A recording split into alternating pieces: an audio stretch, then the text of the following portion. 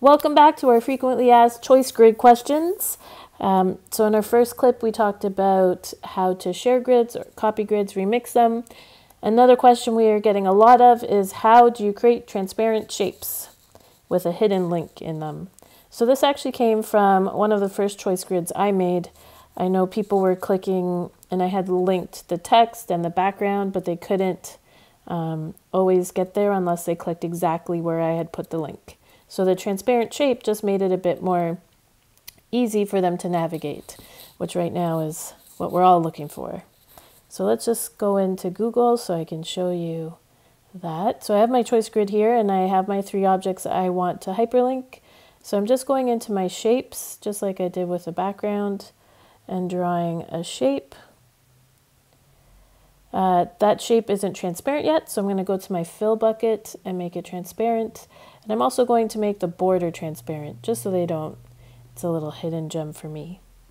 Now again, I'm a little lazy, so to speed this up, I'm going to Control C and Control V, however you like to copy and paste, just so that I can get all of those transparent shapes done quickly.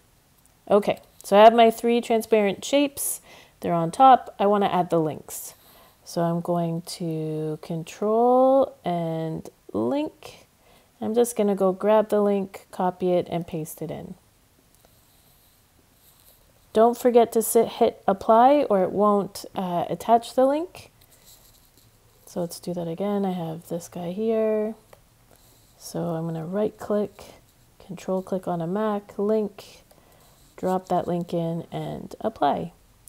Now, if you're really excited, really fast, um, by accident, you may just paste the link right into your transparent shape, which is more than uh, okay if you like putting the link in there. No worries with that. But if you don't like that look, just remember to right click and go to the link. Uh, because it's a shape, it can still hold text. Uh, that's why it's holding that link for you. And apply.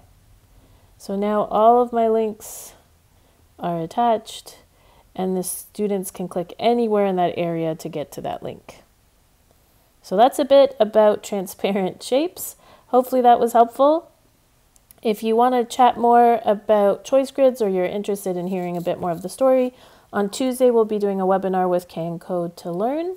And on Wednesday night, we're gonna, for Appy Hour, we're gonna work our way and take your questions around choice grids. So you can join us at either of those. Uh, you do need to register for the webinar, so go to CanCode to Learn to get more details. Have a great day, folks.